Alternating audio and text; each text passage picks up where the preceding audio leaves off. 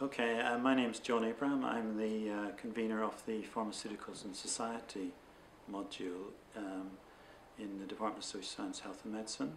Um, I'm here to tell you a little bit about the course.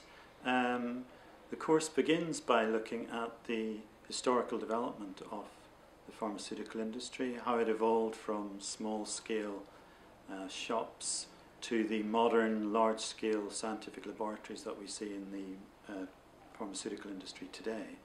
Um, having put the pharmaceutical industry in some historical context, we then look at some of the fundamental uh, workings of, of the industry and the sector.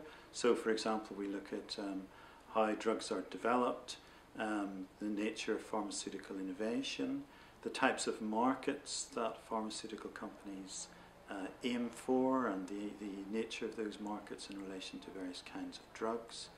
Um, and then we also look at uh, the role of things like patents uh, and intellectual property rights within the pharmaceutical sector and uh, the role of commercial secrecy in the nature of drug development and indeed the science that is associated with it.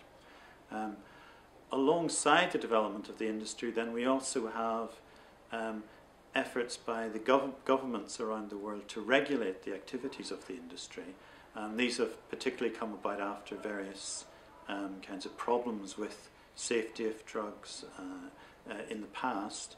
Uh, but as a consequence, we have a, a, number of regulatory systems and regulatory bodies that attempt to control the industry. So we look at the nature of those regulatory systems, how do they um, relate to the industry, what's the relationship between regulators in, in the state and the industry, um, and how effective the regulatory system has been in, in, in attempting to make the industry produce drugs that are uh, safe and effective, and indeed in the interests of public health more generally.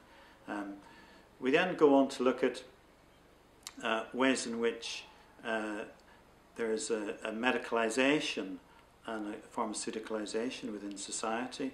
This is the process by which various kinds of social or behavioral conditions become labelled as medical conditions and then subsequently um, subjected to pharmaceutical treatment.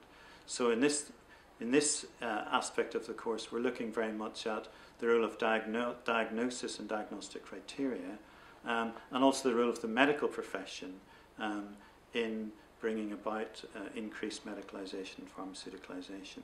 And the role of the pharmaceutical industry, of course, in that is, quite, is very important. Um, after looking at that, we go on to look at some controversies um, within the pharmaceutical sector, controversies about drug safety, um, and the social and political dynamics of those controversies. What are the key, who are the key stakeholders? What are the key interests at stake?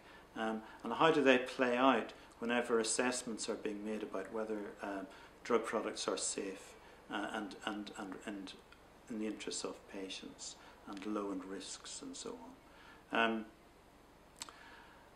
as well as that, we're concerned with um, things like the cost effectiveness of pharmaceuticals. So we also look at uh, the issue of what sort of uh, cost pharmaceuticals have for healthcare systems, how pricing is set for pharmaceuticals, and um, how decisions are made about how effective drugs are and what sort of therapeutic advances they uh, give rise to relative to other medicines that are already on the market.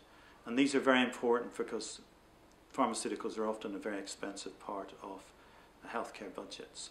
Um, we also take quite a close look at things like the nature of clinical trial designs, what they tell us about how well uh, drugs offer therapeutic advance over existing treatments.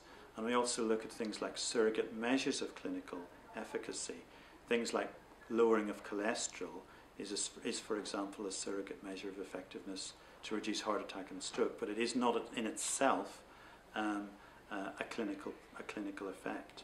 Um, we also then go on to look at uh, the globalization of standards uh, for the safety and effectiveness of medicines uh, the internationalization of, of various regulatory systems, um, and how these are affecting the nature of the pharmaceutical sector, um, how they're affecting the costs and access to, uh, to drugs.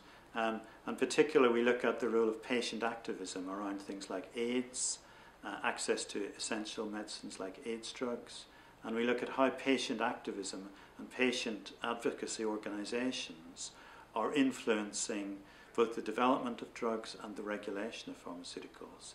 Um, and here we also look at things like uh, what we call the patient industry complex, the relationship between patient organisations and pharmaceutical companies.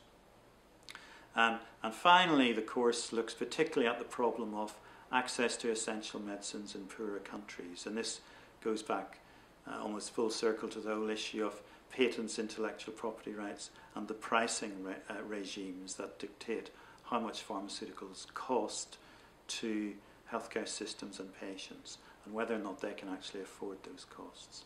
Um, and ultimately, all these aspects of, of the course are informed by the question how well do pharma does pharmaceutical development and regulation meet the demands and interests of public health?